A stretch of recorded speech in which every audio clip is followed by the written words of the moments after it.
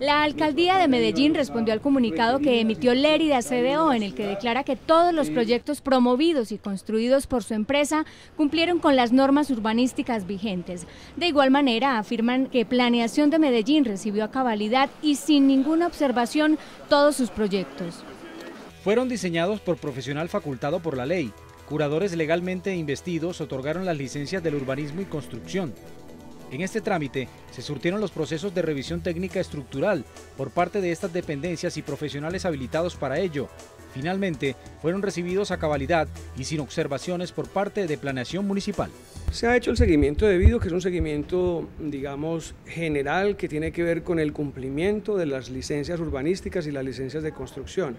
Específicamente tiene que ver con que los proyectos construidos coincidan con los planos urbanísticos y constructivos. La constructora descarga toda la responsabilidad de las graves falencias encontradas por la Universidad mm. de los Andes en sus unidades residenciales a la administración municipal. Son los constructores, con sus interventores, con los equipos técnicos que toman decisiones en obra, quienes hacen real que todo lo que se dijo, explicitó o eh, legalizó a través de las licencias, efectivamente se ejecuta. Mientras continúa el rifirrafe entre la administración municipal y la constructora y las culpas van de un lado al otro, cientos de familias siguen viviendo una situación que los tiene desesperados.